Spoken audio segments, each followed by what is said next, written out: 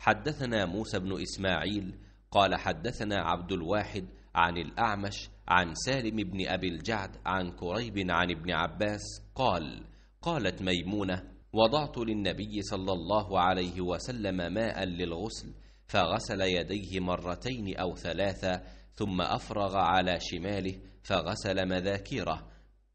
ثم مسح يده بالأرض ثم مضمض واستنشق وغسل وجهه ويديه ثم افاض على جسده ثم تحول من مكانه فغسل قدميه